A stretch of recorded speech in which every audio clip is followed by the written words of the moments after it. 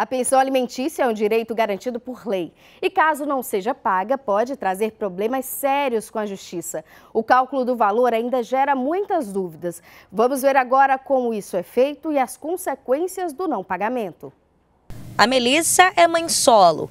Ela e o genitor do filho optaram por não continuar a relação e firmaram um acordo de pensão alimentícia. Foi uma, uma, uma gestação que não foi planejada mas ela foi muito, é, muito bem recebida por mim, principalmente. Segui uma gestação solo, é, toda a questão da, da, maternidade, aprendendo a lidar com a nova realidade. Hoje meu filho tem um ano e quase um mês, né? É, em relação à pensão alimentícia, foi através da justiça, um advogado particular, foi definido a pensão com o plano de saúde, certo? Porém, hoje, esses custos, eles não suprem a necessidade. Então, acaba que é, eu tenho que desenrolar um pouquinho mais, compromete muito meu financeiro para suprir é, toda, toda a, a despesa que tem. Mas, assim, em contrapartida, eu tenho meu filho comigo, eu tenho um afeto, eu tenho um amor dele, e isso já supre qualquer demanda. Assim como ela, milhares de pessoas recorrem à justiça para chegar ao entendimento quanto aos custos de se manter o menor de idade. A Constituição Federal assegura esse direito desde 1968. Não é somente essa lei que, é, que assegura ou que está sendo fiscalizada. Essa é uma lei que pelo contrário, ela gera muitas demandas, muitas demandas ao Poder Judiciário. Porque, vamos pensar bem, não é todos os casos que o genitor ou a genitora que deve pensão alimentícia paga de forma natural. Óbvio sim que existem esses casos, mas sim, muitas, muitos outros existe necessidade de que o filho ou a filha de fato pleiteie essas verbas junto à justiça.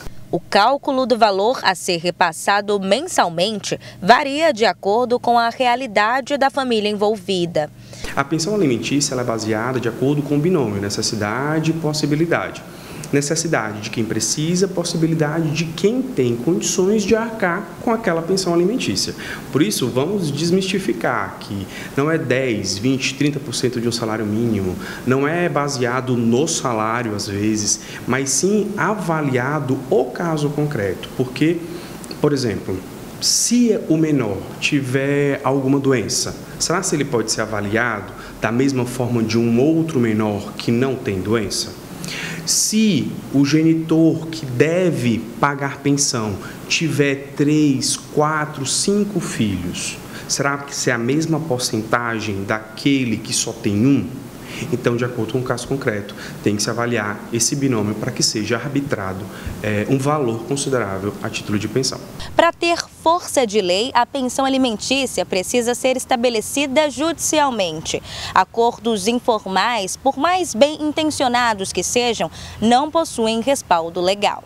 A mãe, o pai, que o pai também pode receber pensão, né? porque não é o pai, sim é quem está na, na guarda do menor receber a pensão para manutenção do filho, é, você tem que avaliar a proporcionalidade. Será se o que ele ganha é suficiente para pagar um valor acima do normal?